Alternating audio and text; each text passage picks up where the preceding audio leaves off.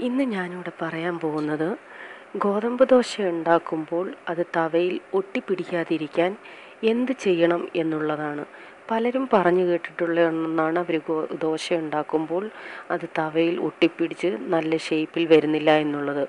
വളരെ ചെറിയ രീതിയിൽ വളരെ രണ്ട് ടിപ്സ് ഉപയോഗിച്ച് ഇത് നമുക്ക് ശരിയാക്കിയെടുക്കാം. അതാണ് ഇതിൽ പറയാൻ പോകുന്നത്.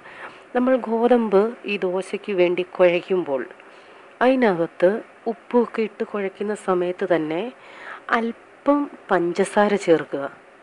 പഞ്ചസാര അതുപോലെ തന്നെ ഒരു മുട്ട. ഇത് രണ്ടും ചേർക്കാം. അതല്ലെന്നുണ്ടെങ്കിൽ മുട്ട ഇഷ്ടമല്ലെന്നുണ്ടെങ്കിൽ പഞ്ചസാര ചേർക്കാം. ഇനി ഷുഗറിന്റെ പ്രോബ്ലം ഉണ്ടെങ്കിൽ പഞ്ചസാര ചേർക്കാത്തവർക്ക് മുട്ട ചേർക്കാം. ഇത് രണ്ടും ചേർക്കാം. ഇത് ചേർത്തിട്ട് നന്നായിട്ട് കലക്കി ഒരു ഒത്തിരി വെള്ളം ആവരുത് ഒത്തിരി ലൂസാവരുത് ഒത്തിരി ലൂസായാലും ഇത് തവയിൽ ഒട്ടിപ്പിടിക്കും. ഒരു മീഡിയം പരുവത്തിൽ ഇതെല്ലാം കൂടെ ചേർത്ത് ദോശ ഉണ്ടാക്കിയാൽ ഒരു കാരണവശാലും തവയിൽ ഇത് ഒട്ടിപ്പിടിക്കത്തില്ല.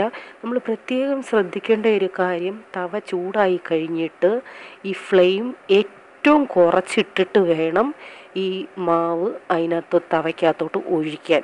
എന്നിട്ട് നന്നായിട്ട് പരത്തുക. ഒട്ടും അടുക്കി പിടിക്കത്തില്ല.